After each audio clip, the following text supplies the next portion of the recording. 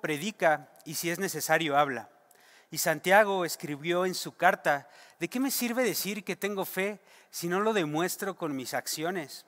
La realidad es que una de las cosas más poderosas eh, que tiene un hijo de Dios son sus acciones, son sus buenas obras. Eh, yo creo firmemente, como lo escribe Santiago, que si tú dices conocer a Jesús, pero no actúas como Él, no amas a los demás, no observas las necesidades de otros y les ayudas, la realidad es que yo dudaría muchísimo que tú conozcas a Dios.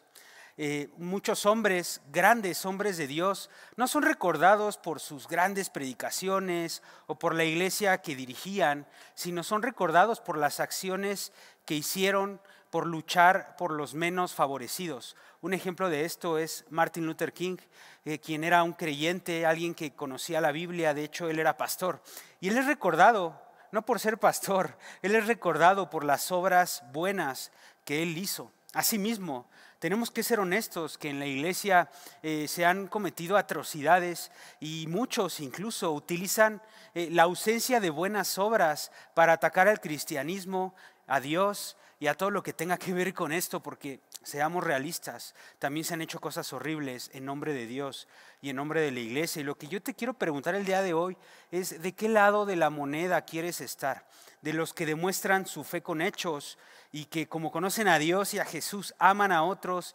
buscan ayudar a los demás, o de los que solo son religiosos, dicen conocer a Dios, dicen conocer la Biblia, pero solo juzgan y no aman a otras personas e incluso cometen cosas horribles en nombre de Dios. Yo quiero que tú analices y pienses que las buenas obras son muy poderosas, es una herramienta que Dios puede utilizar para alcanzar hasta el corazón más endurecido, hasta esa persona que nunca iría a una iglesia o nunca escucharía eh, de manera natural eh, el Evangelio, pero llegas tú con amor, con buenas obras y créeme, tarde o temprano, va a querer saber por qué lo amas, va a querer saber por qué haces esas cosas y entonces tú le vas a poder decir, yo he conocido a Jesús. Así que recuerda, predica y si es necesario, habla.